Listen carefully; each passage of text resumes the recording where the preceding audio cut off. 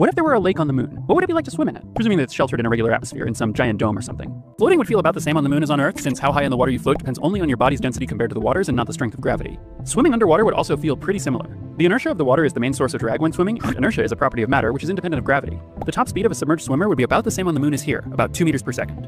Everything else would be different and way cooler. The waves would be bigger, the splash fights more intense, and swimmers would be able to jump out of the water like dolphins. Calculating the height a swimmer can jump out of the water requires taking several different things into account, but the bottom line is that a normal swimmer on the moon could probably launch themselves a full meter out of the water. An Olympic swimmer like Michael Phelps might manage 2 or 3 meters. The numbers get even more exciting when we introduce fins. Swimmers wearing monofins can exceed 3 meters per second, which is fast enough for some pretty impressive jumps even on Earth. Data on fin swim top speeds and thrusts suggest that on the moon, a champion fin swimmer could probably launch themselves as high as 4 or 5 meters into the air. It gets even better. A 2012 paper concluded that while humans can't run on the surface of water on Earth, they might just barely be able to do so on the moon.